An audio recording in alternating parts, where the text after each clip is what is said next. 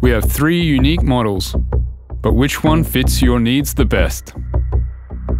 Choose the Mini if you are carrying smaller stuff and doing some serious grocery shopping or the likes.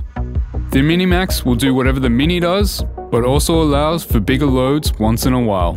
Fits our child seat, backrest, and foldable cargo box. The cargo will do whatever the Mini Max does. You'll just be able to go heavier and bigger and with more comfort.